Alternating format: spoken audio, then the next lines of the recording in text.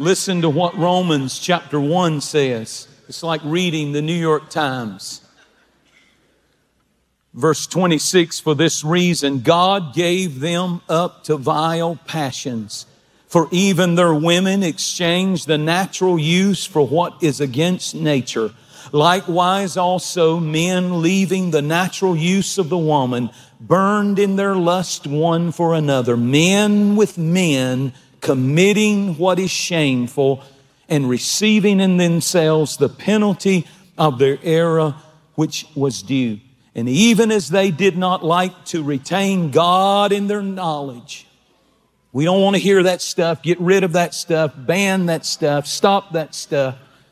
Even though they did not want to retain God in their knowledge, God gave them over to reprobate, debased minds to do those things which are not fitting being filled with all unrighteousness, sexual immorality, wickedness, covetousness, maliceness, full of envy, murder, strife, deceit, evil mindedness. They're whisperers, backbiters, haters of God, violent, proud, boasters, inventors of evil things, disobedient to parents, undiscerning, untrustworthy, unloving, unforgiving, unmerciful, and knowing the righteous judgment of God that those who practice such things are deserving of death, not only do the same, but they are proud or approve of those practices.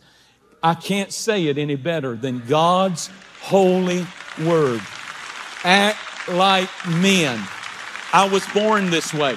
I was born in sin. I was born to commit adultery. I, if I go the natural way I was born, I'd be a drunk. I'd be a, I'd be a cocaine addict. I'd be an adulterer. I'd be a fornicator. But when you get, that's why you need to be born again. If you were born that way, get born again, get the nature of Christ and be an overcomer. Just like I have to resist temptation and sin, you learn how to resist temptation and sin. Get your mind renewed. Be not conformed to this world. Be transformed by the renewing of your your mind, and suddenly you'll get the strength to live a life that's pleasing to God. It's the same salvation for the straight as for the gay. Whosoever shall call upon the name of the Lord shall be saved. And it's time for men to act like men and women to act like women. Act like men means you don't act like a woman. What are we doing? What are we accepting? And why are we so worried and quiet? Let's speak the truth in love. All that you do, doing the, if I love you, I'm going to tell you the truth. If I see a truck coming at you about to run over you, I'm going to scream at you to get out of the way. I'm preaching the truth to you. There's a way that seems right unto man, but the end thereof is destruction. This word is right. This word will heal your life. I'm not mad at anybody.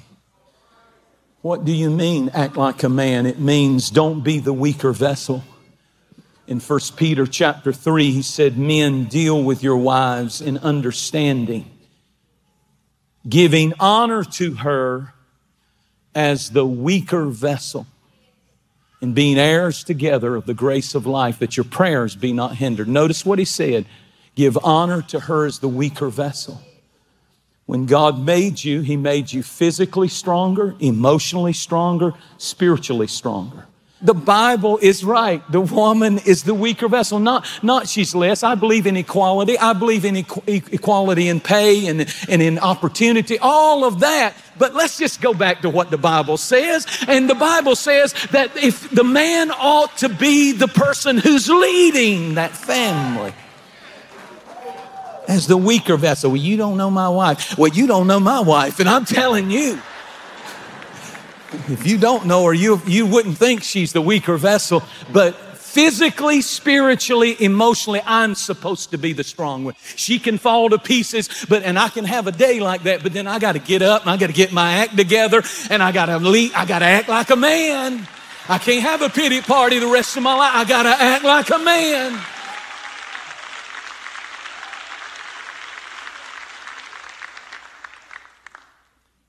I've had dark times in my family just like you're going through dark times in your family.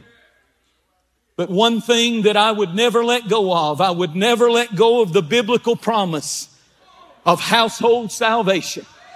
I like what Joshua said, and he said, I'm deciding for my whole family. I'm going to act like a man. As for me and my house, we will serve the Lord. And I'm going to say that in love, but I'll never stop moving in that direction with my family. And one of these days when I stand on streets of gold, I'm going to have them all up there. And that's what success is. Not a bigger house, not a bigger car, not a bigger this and that. If I can get me and my family to heaven and lead them that way, I'm acting like a man.